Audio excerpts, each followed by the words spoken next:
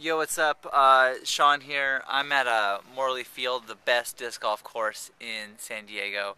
Actually, uh, High Times has ranked it one of like the best places, uh, the best places in the world to get high. So